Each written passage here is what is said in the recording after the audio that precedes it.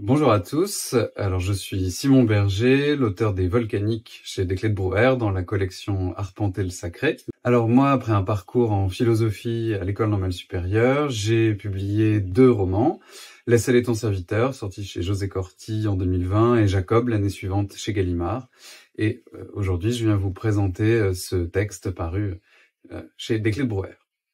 Quand un jour euh, Olivier Germain Thomas m'a fait l'honneur de me proposer euh, d'écrire dans sa collection euh, Arpenter le sacré, euh, il se trouve que moi j'avais déjà en tête un livre sur l'Auvergne depuis quelques quelques temps, quelques années, et sa proposition a rencontré ce projet que que j'avais dans moi, euh, et j'ai commencé à travailler et à coucher par écrit quelques textes, quelques évocations.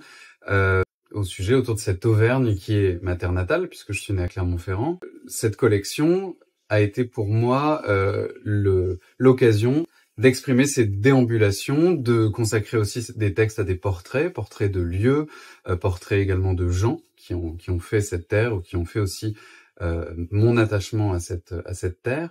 Et même si j'ai déjà consacré un roman à Clermont, puisque Clermont est, j'allais dire, quasiment un des personnages de mon précédent roman, mon précédent texte, euh, j'avais envie de euh, coller plus, de manière plus rigoureuse et plus serrée à cette terre.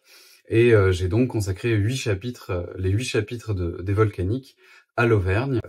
la collection Arpenter le Sacré invite à revisiter son propre rapport à un lieu et à explorer le versant spirituel de notre rapport à cette terre. Et il est vrai que l'Auvergne euh, me, à ce titre, me retient, retient mon attention, et pas seulement parce que c'est ma terre d'origine, mais parce que je crois que euh, il y a en Auvergne, euh, et je ne serai pas le premier à le dire, euh, il y a eu d'autres bien plus grands que moi avant moi, comme Vialat euh, et d'autres encore. Euh, L'Auvergne est une terre qui porte en elle une certaine rigueur, une certaine sagesse, un certain rapport au monde qui me semble pouvoir mériter le titre de sacré. le texte des volcaniques euh, est logiquement découpé en huit chapitres euh, qui s'ouvrent sur une évocation de la cathédrale de Clermont, euh, qui dit avec la bien-aimée du Cantique des Cantiques, je suis noire mais je suis belle. Et donc, logiquement, il y a huit chapitres dans les volcaniques, comme il y en a huit dans le Cantique des Cantiques.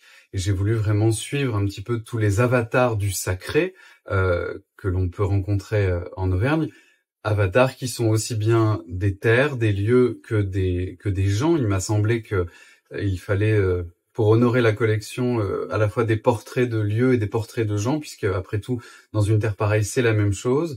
on verra que dans, dans ce texte, j'ai essayé d'alterner les évocations de vivants, de morts, puisque en Auvergne, sans doute plus qu'ailleurs, les vivants communient avec les morts et les morts nous intéressent aussi pour cette vie qu'ils ont mené et dans les pas dans les pas de laquelle nous nous inscrivons aussi. Donc c'est vraiment ce que j'ai essayé de faire dans les volcaniques, on va dire un petit cantique miniature pour une terre où les vivants et les morts euh, communient.